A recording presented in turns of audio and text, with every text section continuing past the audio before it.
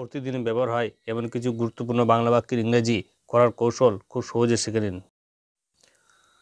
যদি ইংরেজি বলতে পারতাম, যদি হিন্দি লিখতে পারতাম, যদি কলকাতা যেতে পারতাম, যদি কাজটি করতে পারতাম, যদি খেলাটা জিততে পারতাম, এই ধরনের বাংলা বাক্য আমরা প্রতিদিন বলে থাকি।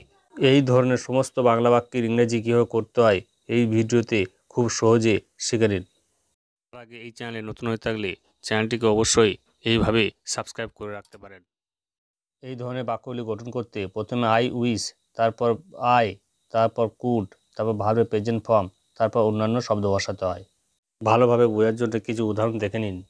যদি ইংরেজি বলতে পারতাম I wish I could speak English যদি হিন্দি লিখতে পারতাম I wish I could write Hindi.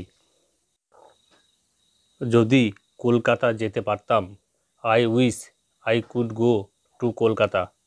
যদি কাজটি করতে পারতাম I wish I could do the work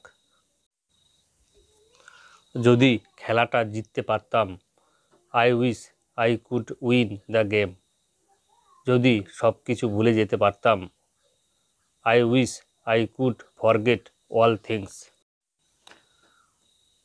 যদি তার সাথে দেখা করতে পারতাম এটার ইংরেজি আপনারা করার চেষ্টা করুন।